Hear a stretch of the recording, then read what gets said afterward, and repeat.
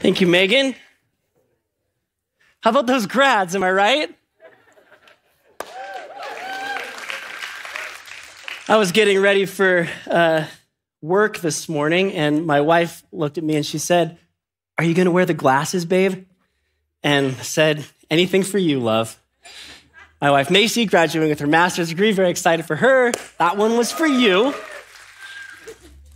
Uh, my name is Nathan Nelson. I'm the resident pastor clown, and uh, I'm the pastor of mission and outreach here at the church. It is a joy to be with you this morning. My hope is that together we can submit ourselves to what the Lord would speak to us through his word.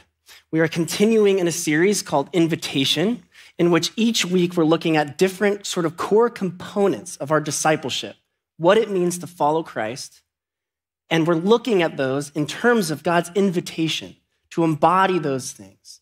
So today's topic, as we round the corner from some random dude wearing funky glasses and a crazy crown to the topic for today, it is justice. I don't know about you, but when I even just hear the word and consider the topic for just a moment, it feels heavy. Does it not? Justice.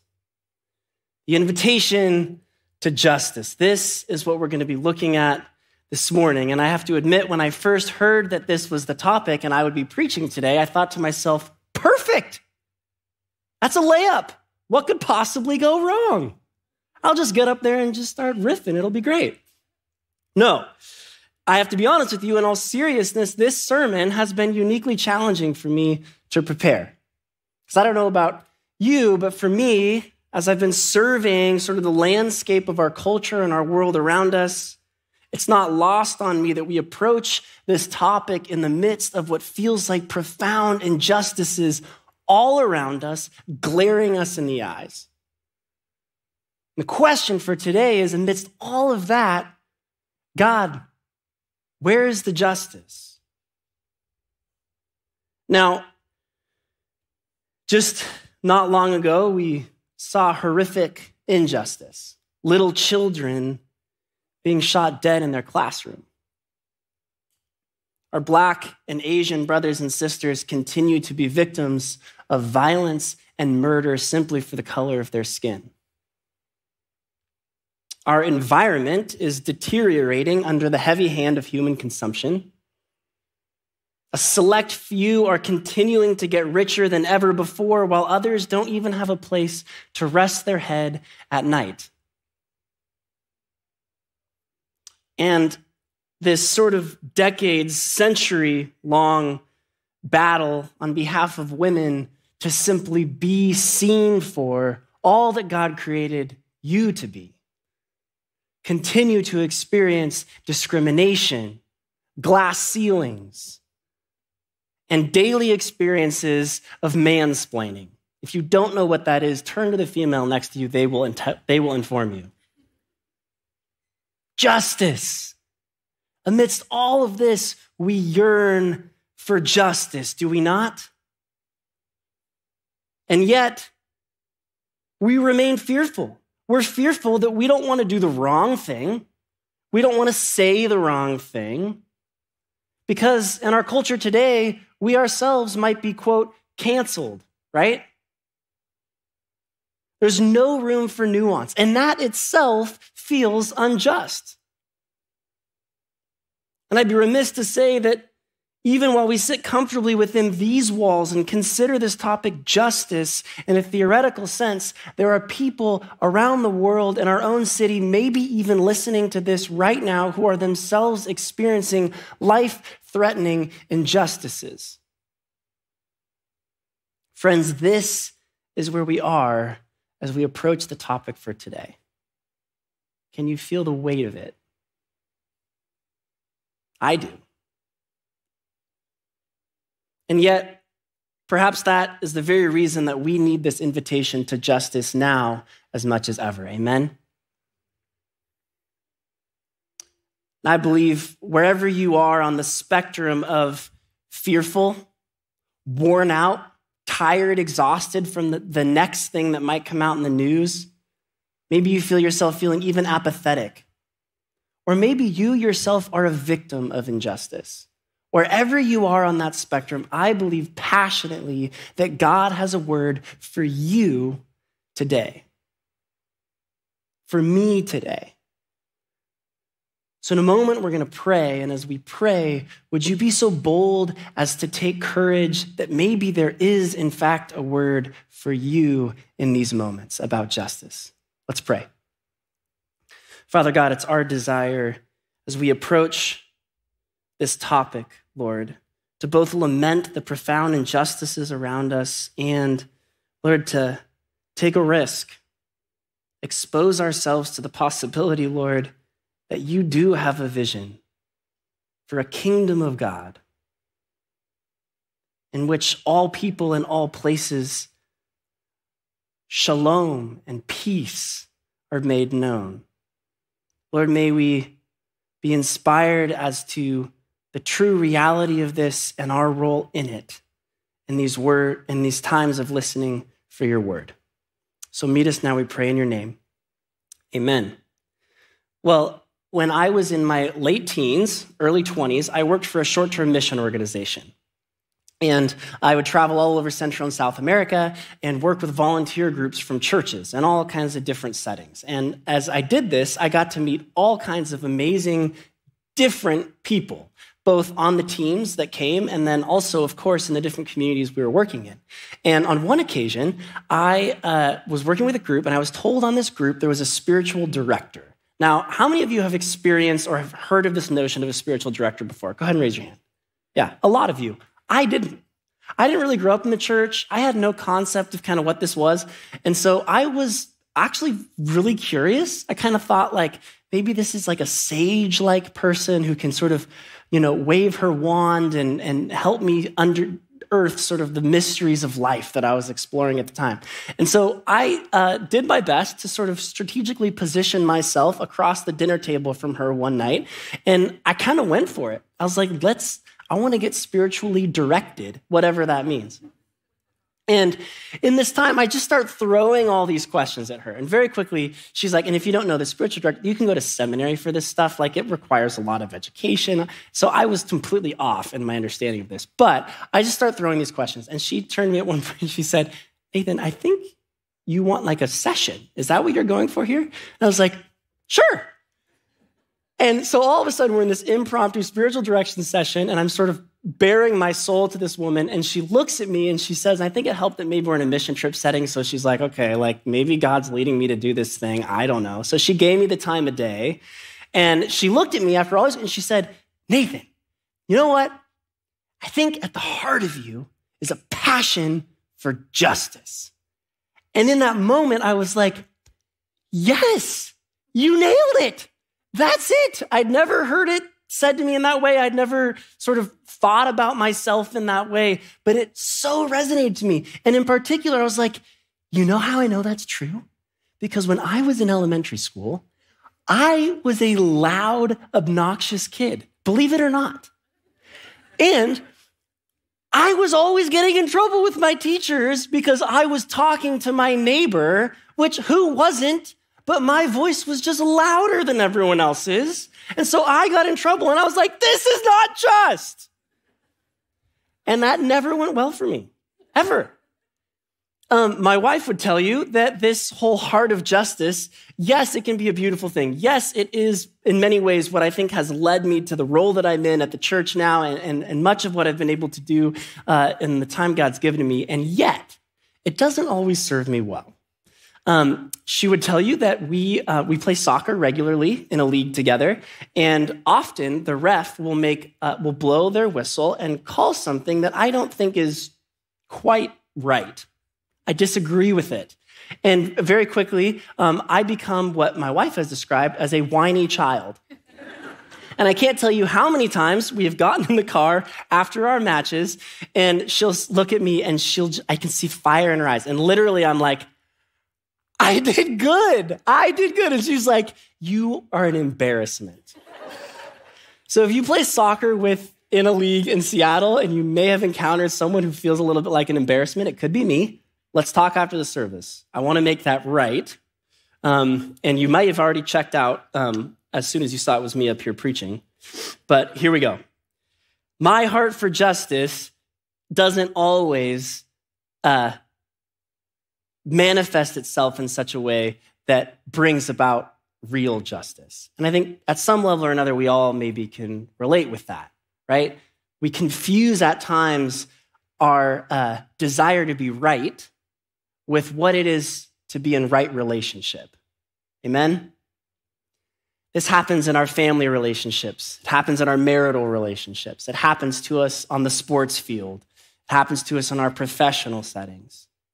The reality is that there, under all of that, there is some beauty. The beauty is that in all of us, whether you're like me and you have this passion deep within you for justice, or maybe you're sort of like, you know what? Like, yes, I believe in justice, but I would rather sort of just coast along and, you know, I don't want to ruffle any feathers, that kind of thing.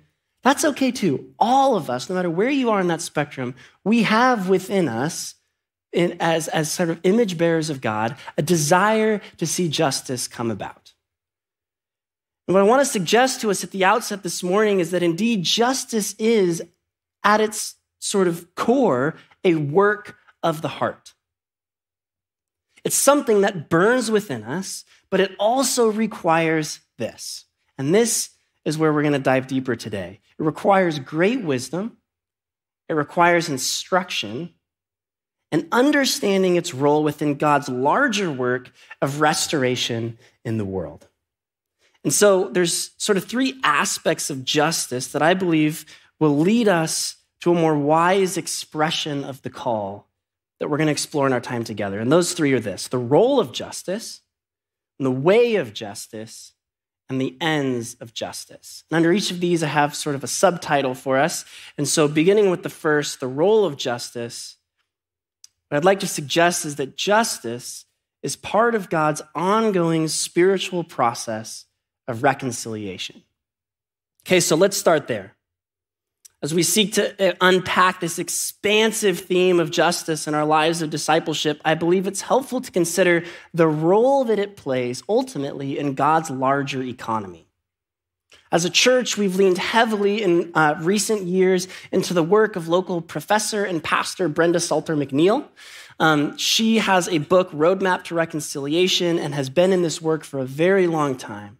And she defines reconciliation as this the ongoing spiritual process involving forgiveness, repentance, and here it is, justice, that transforms broken relationships and systems to reflect God's original intention for all of creation to flourish. There's a lot there. What I'd like to suggest today is that justice is indeed part of this threefold, threefold strategy of God's reconciliatory work in the world. It includes forgiveness, repentance, and justice. So when we understand justice this way as sort of a part of a grander spiritual work of restoring broken relationships and broken systems, to reflect God's original intention for all of creation to flourish, what it does is it helps us to narrow the scope of what justice is really about and ultimately what it's for. So, as we examine the text for today and this theme, let's bear in mind the work of justice as intimately related with repentance and forgiveness. Now, I don't know about you, but how many of you would say that that is the way we're understanding the topic of justice in media today? Not so much, right?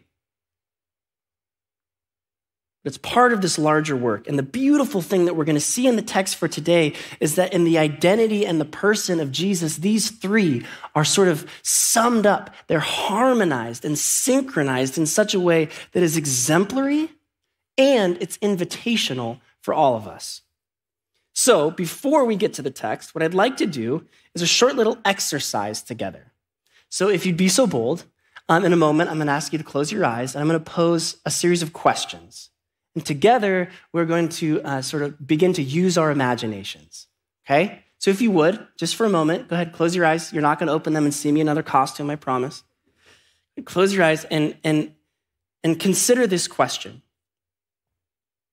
If you were to draw a picture of Jesus, what image comes to your mind? if you were to draw a portrait of Christ, what would it look like? And then if you were to position your image of Christ into a scene, what would it be? Where is it? What's happening?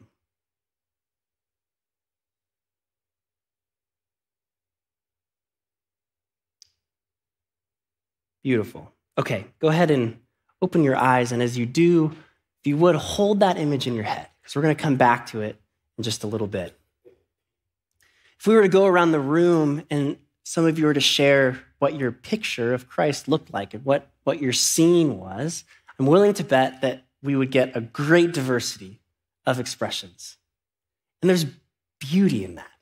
I really think there's beauty in that. For example, we all might have drawn a picture of Jesus that embodies certain character traits of his. For example, um, maybe some of us depicted Christ as a teacher or as a savior or maybe even as a carpenter.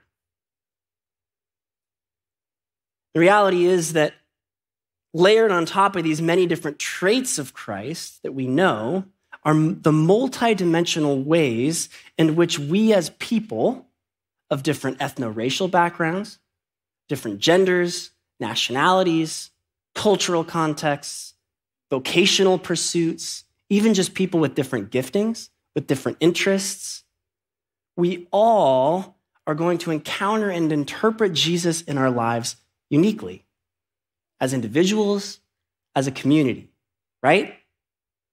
And at a level, there's beauty in this. There's a theologian you may know, N.T. Wright, who in his book on the historical Jesus, in which he's sort of seeking to understand the character of Jesus in Jesus' socio historical context of his time. And, and, and, and regarding Jesus, he writes this Christ's public persona within first century Judaism was that of a prophet. And the content of his prophetic proclamation was the kingdom of Israel's God. However, he goes on to write, the prophetic aspect of Jesus' work is often and surprisingly ignored.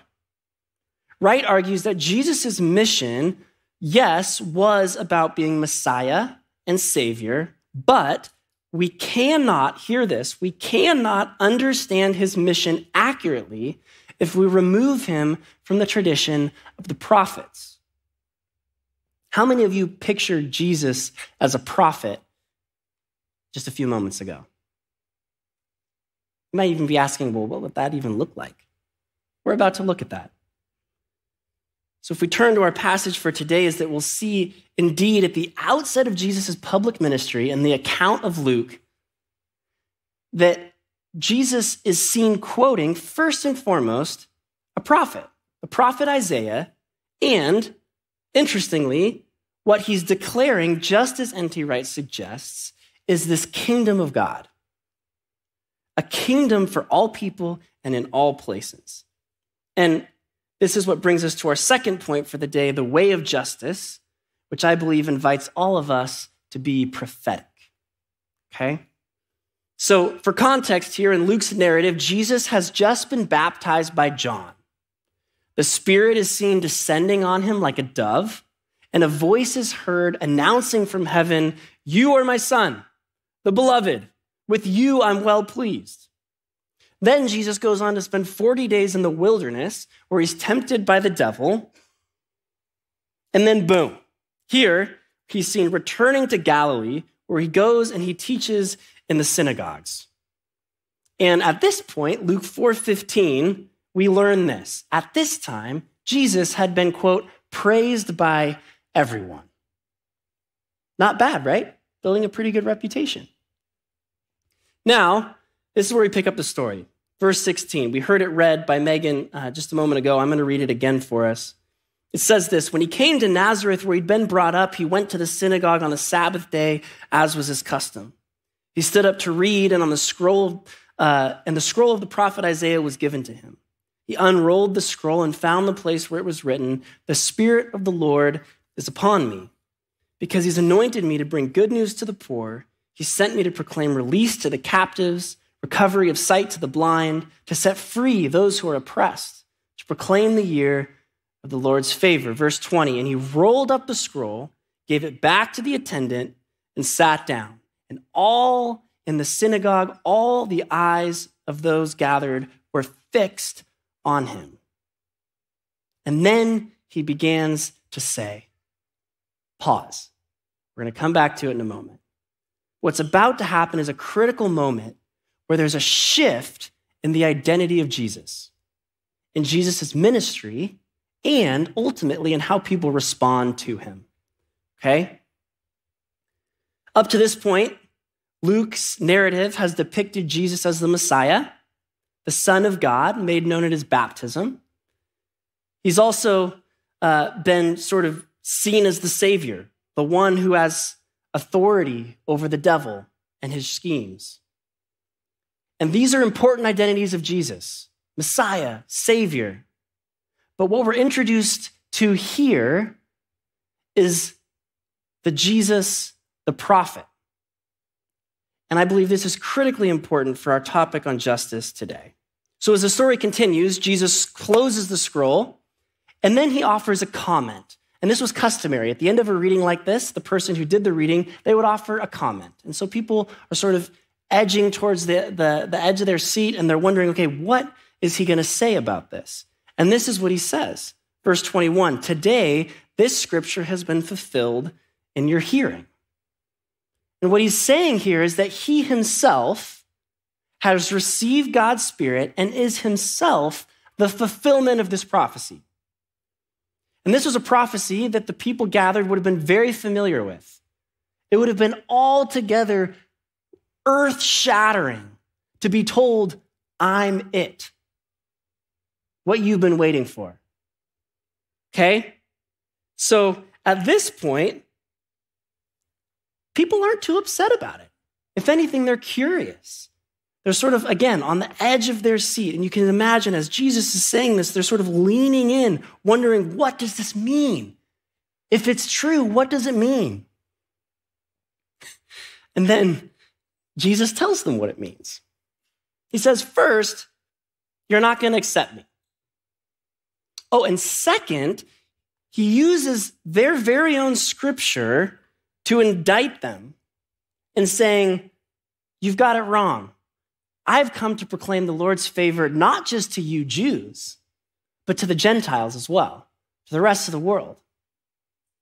And in that moment, having just been part of a nation praising this person, everything changes. And what do they do? Does anyone know? They go and they mob him. They try to kill him.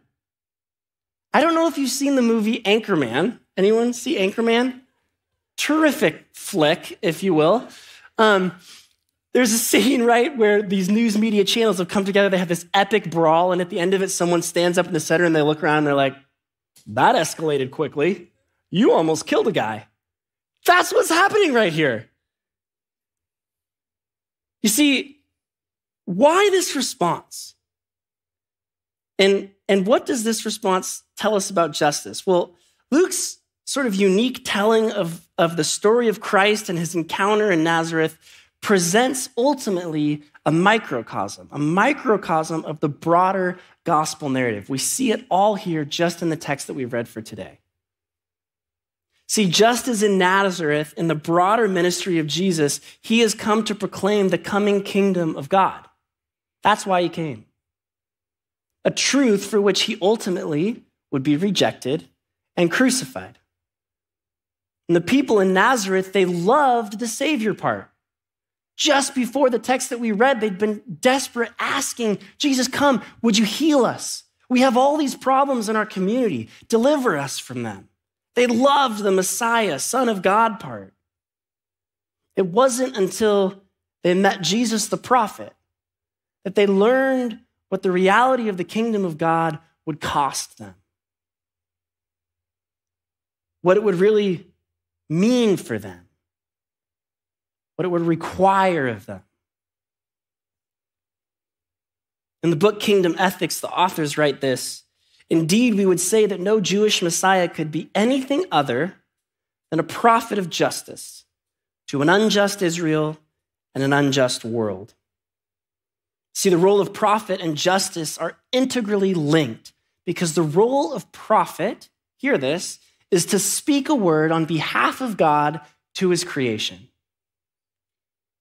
And any word spoken on behalf of God to a broken creation, if indeed God is in the business of reconciliation and restoration, which he is, any word then spoken on behalf of God to his creation is going to necessitate justice.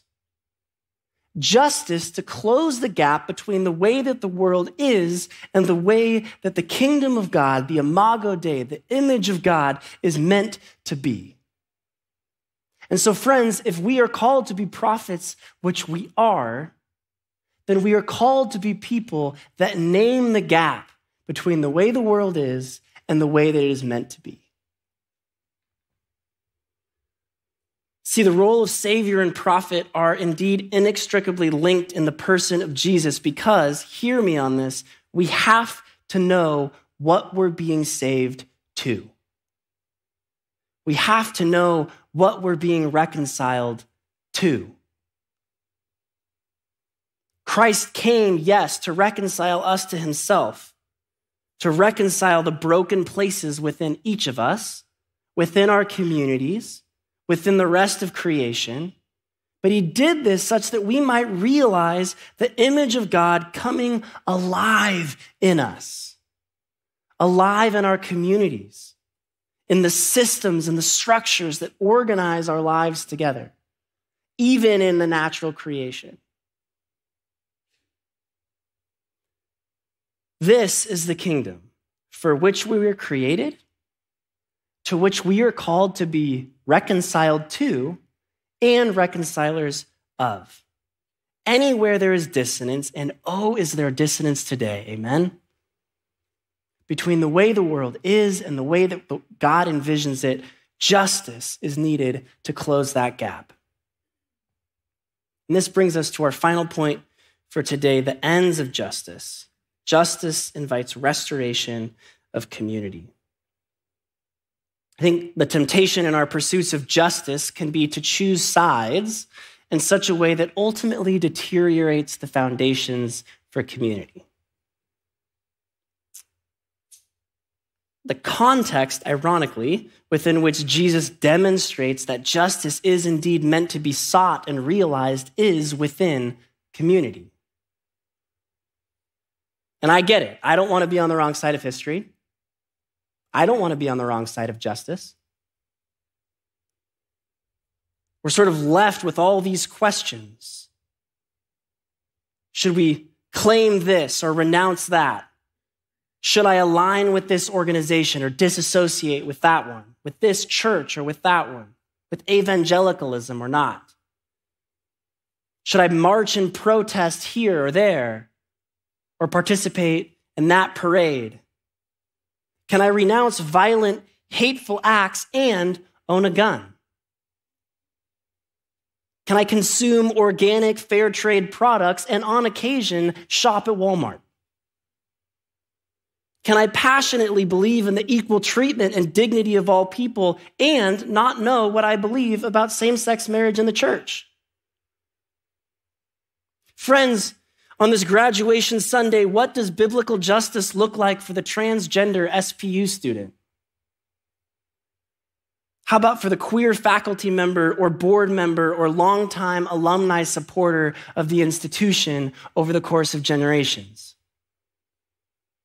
These are just some of the many questions we're asking about justice today, are they not? And what Jesus so radically and wisely demonstrates is that justice can only be realized in the context of community. Fragmentation is the enemy of justice. And it's the very thing to which popular media, popular culture would lead us to today. And so, hear me, pursuing justice in community does not exclude confronting injustices within that same community. 37 times in the gospel accounts, Jesus directly confronts the powers and authorities of his day. These include deliverance of the poor and powerless, confronting the domineering of one group over another, stopping violence and establishing peace, welcoming refugees and outcasts into community. You see, in Jesus' time, there was no shortage of injustice. For example, just another example 90% of the population were peasant farmers, and yet they were, and they were producing a majority of the wealth. However, just 10% of the economic and religio political elite occupied over half the resources religious and political authorities developed systems and traditions that reinforce the centralization of economic power. Does that sound familiar? You see, this incomprehensible wealth gap, structures that empowered uh, the few at the expense of the majority, the marginalization of ethno racial groups, oppression of women, violent and unjust laws. Jesus confronts all of these, and he does it in creative, strategic ways that claim the truth of each person's identity being in the imago Dei, the image of God, and worthy of a life characteristic of nothing less than the kingdom of God. One of shared flourishing for all. And you know what? He was killed for it. So, you see, what I believe is so important for us and, and practical in our culture today is this that if justice, along with repentance and forgiveness, recall what I mentioned earlier about Dr. Brenda's work, the necessity of justice and repentance and forgiveness to be a part of this broader work of reconciliation that is to happen in the context of broken relationships between people, God, ourselves, the rest of creation, and the structures and systems that sort of circulate around all of these, then, if that's what it's about, justice must come about in relationships and our shared lives together. This is where Jesus went to renounce injustice and where he sought to restore justice in relationship with other people, often unlike him, restoring community. You see, he did not align himself with a perfect organization. He didn't sort of like buy their t shirt and plaster their logo all over his water bottle. Jesus didn't come to establish the perfect church and stream his sermons out to the rest of the world, right? No. What did he do?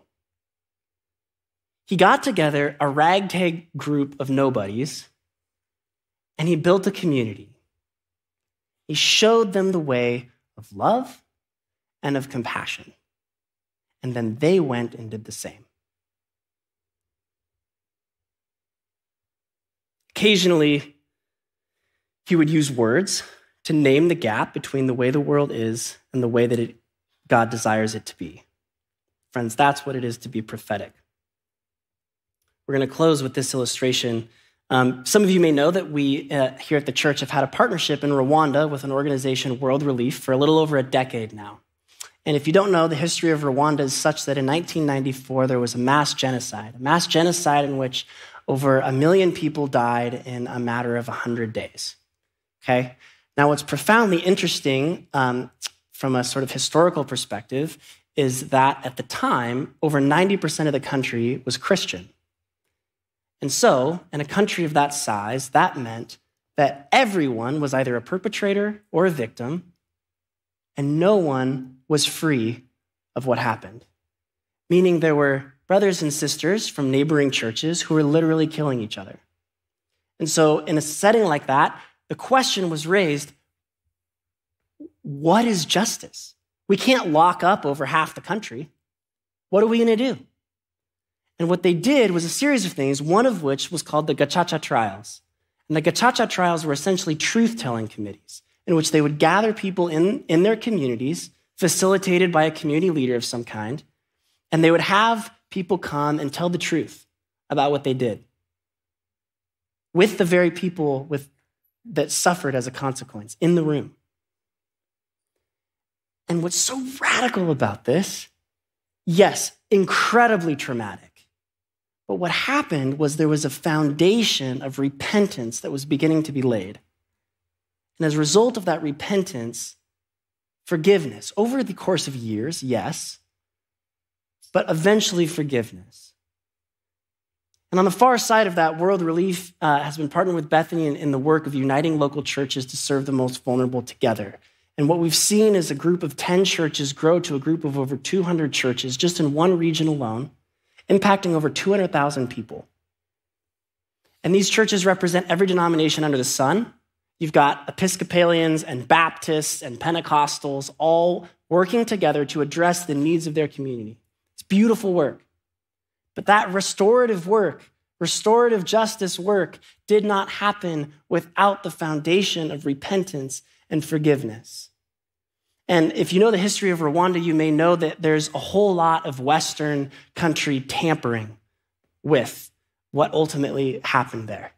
And it's sort of been my passion in my time traveling back and forth and, and getting to really become genuine friends with, with folks there to sort of, in, within, within reach for me, right some of that wrong. And so uh, I've sought to sort of take the inspiration of, of that work of uniting local churches uh, to serve the most vulnerable and bring it here to Seattle. And so um, what we started to do here on Aurora, you may have heard me talk about this before, is uh, have a series of meetings with local churches, coming around Aurora Commons and saying, there's a homelessness crisis here in our city that we cannot deny. What would it look like to address those things together? I can tell you that uh, what, what, what Rwandans taught me is that we needed to start with repentance and forgiveness. And so, me and another um, lay leader from the congregation, a woman named Melissa Gossiens, went on a series of meetings with these local pastors of other churches right here on the Aurora corridor. And we started to have reconciliatory conversations where we said, Hey, we're that big church by the lake. Um, how are you? And we learned of a lot of hurts over the years. We learned of a lot of ways in which we came up short, and vice versa. And we started to lay a foundation of unity built on a shared desire to see one another restored to relationship, and ultimately all of us as a community restored to more wholeness together, those living outside and those of us with the comfort of our own home. I can tell you the work that we've done together has been nothing short of the most rewarding work that I've been a part of in my short little missional career. But it's true. This can happen. And it can happen if we take seriously the call that anything worthy of God's justice in the world must be built on a foundation of repentance and forgiveness with an eye towards reconciliation. So, as we prepare to close, and I'll invite the band back up, uh, I'd like you to, if you would, for a moment, just close your eyes again and recall that image of Christ that we painted together earlier. As you kind of bring that image back into view, what I'd like you to do is to insert the faces of those that represent an injustice happening in the world today. As those people enter the scene, let me ask you these couple things. First, this where are you?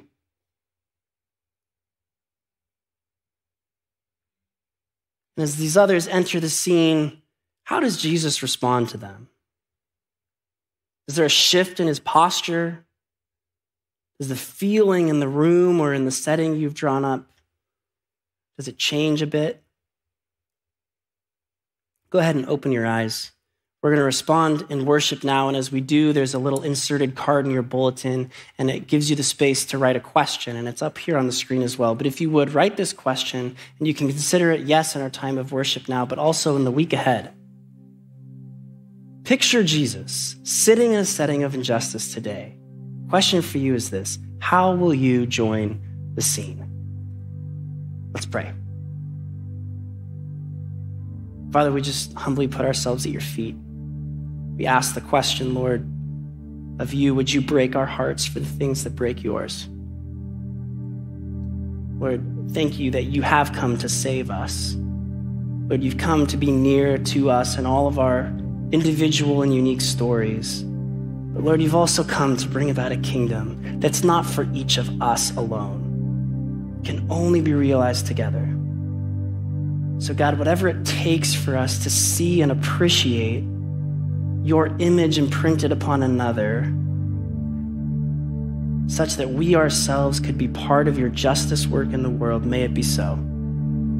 Shape us around your heart, we pray, in these times of worship. Amen. Let's worship together.